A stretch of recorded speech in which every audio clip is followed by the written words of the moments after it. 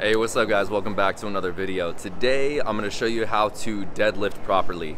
If you are not deadlifting and it's not part of your regular routine in your program, whether you're an athlete or if you're just trying to get in shape and change the composition for your body, this might be next to back squats, the single most important and effective exercise that you can do in order to change your body.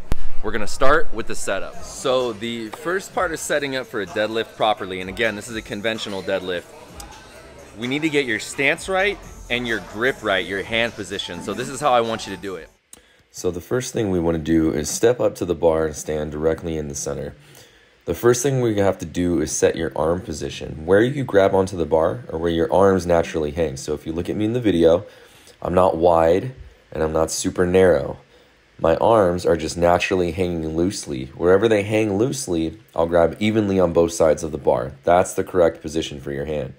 After that, we're going to set the legs in the proper position. So we're not wide. This isn't a sumo deadlift. It's conventional deadlift. So after the arm position is established, the legs go just inside of where your arms naturally hang. Another important note, the bar needs to be basically touching your shins from front to back. You do not want this bar way far in front of you. After that, you're going to rotate your elbows inward while you're holding the bar. This engages and locks down the lats so that you're creating tension throughout your entire body. So, correct foot position, hand position. Notice how I lock my lats in place and my spine is completely straight. From here, the chest comes up. We're to move through the hips, power forward, lock the glutes out, and squeeze the entire body. Then we're to gently bend the knees, push the hips back. The bar lowers to the original position, back next to the shins. Lock the lats into place, rotate the elbows inward towards your body again, and then we power through the hips. That's how we want to deadlift.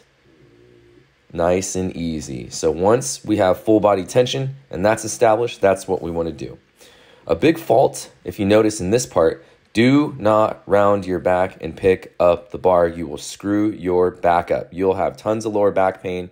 If you are ever feeling pain in your lower back as a result of deadlifting, there's one of two things happening.